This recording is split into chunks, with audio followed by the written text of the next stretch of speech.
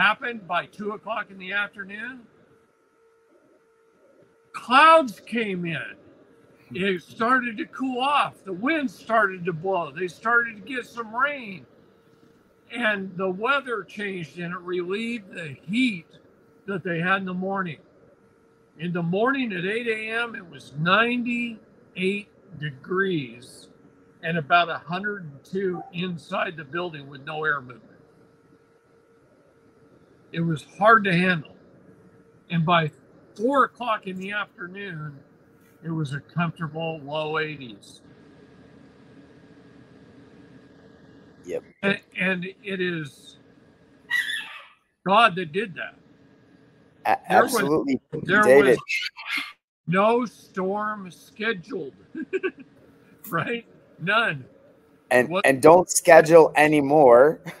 Stop scheduling them, everybody, and focus on the storms passing. And if if I can summarize what you just said there, Dave, because I love you so much and I, I really appreciate what you said.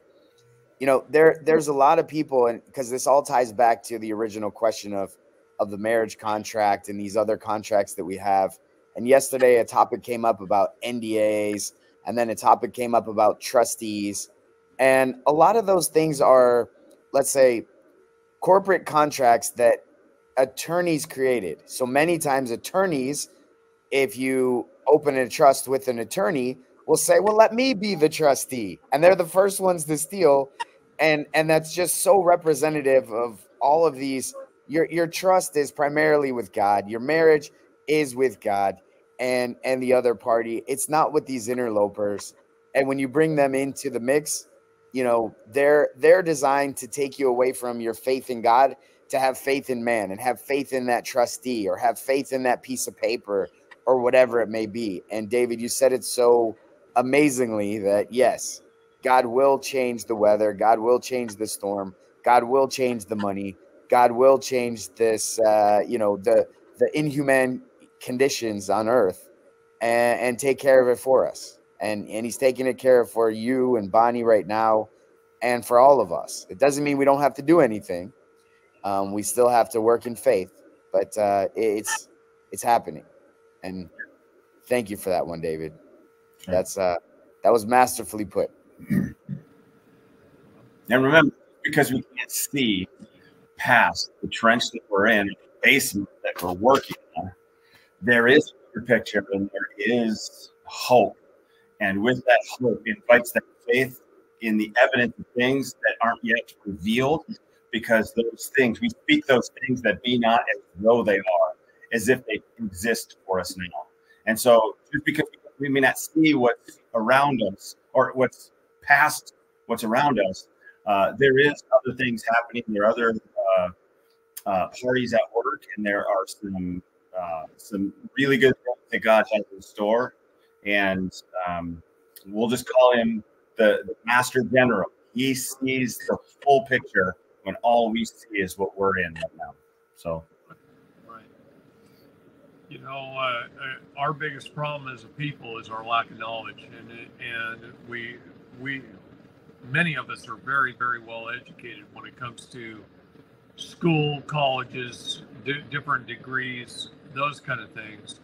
And it doesn't matter even if you if you're a doctor and have a doctorate or a master and have a master's degree. Uh, on and on and on we have been indoctrinated. And we've been indoctrinated to be incredibly stupid with certain things that are truly righteously important in life. And and uh, I this morning I, I I dealt with with two different very smart, intelligent people and and I just want to say these guys these guys have got eight to ten years of college education after high school. They've got high IQs. They're brilliant in their profession, both of them. Just brilliant people, and they're so incredibly, and I don't want to say stupid, unknowledgeable they're so unknowledgeable in the righteous truth, but they're learning and they want to know. They want to know. They've got a hunger for it that is great, and I commend them for that. They want to study, but here's the issue they grasp the concepts when I tell them because of their intelligence very, very quickly. And they just go, Oh my God, how stupid am I? And I look at them, I go, Look at my gosh, you're you've got a doctorate degree, you're you're intelligent, you've had 10 years of education after high school, you're brilliant in your profession, you You've done incredible things. And they're just going, I'm stupid. I'm I, I can't believe it. I'm waking Yeah. up and realizing where the importance is. Yep. And then they realize that what they learned in their profession. Indoctrination. 10 years of indoctrination after the 13 of grade school and high school. 10 more years of indoctrination and they're learning that what they've been doing for 25 30 40 years in their profession is all a lie. And if you want to see a guy go through some emotion like I saw a guy go through some emotion today, where first he was feeling stupid, second, he withdrew into himself and he analyzed his life and himself in a matter of a few minutes, sitting on a couch. And then he went,